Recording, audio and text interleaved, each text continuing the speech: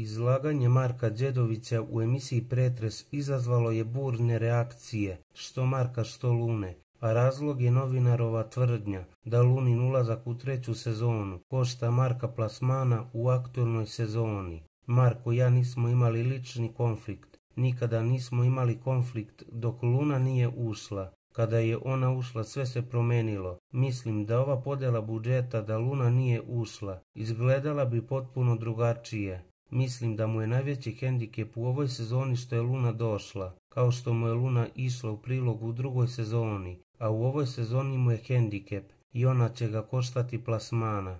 Luna i njen otac stvorili su lošu medijsku sliku Marku. Videći sam kada izađe odavde. Mislim da će ga scene bacanje Anabele na kolena obeležiti za života. Govorio je Đedović.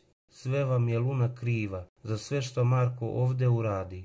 Ti Marko što ćutiš što nije uopšte u redu. Vikala je Luna. Niti brinem o tome, niti mislim da su Luna i Gagi uticali na mene, niti me zanima medijska slika, niti želim da se nastavljam i da živim u javnom svetu. To znaju svi što žive oko mene. Ja sam sve ovo uradio svesno. Iza svakog svog lošeg postupka stojim. Tvrdio je Marko. On se ne bi našao u ovim situacijama da ti nisi ušla. Isprečavala ga da se smuva sa Jelenom Pešić. Smatrao je Đedović.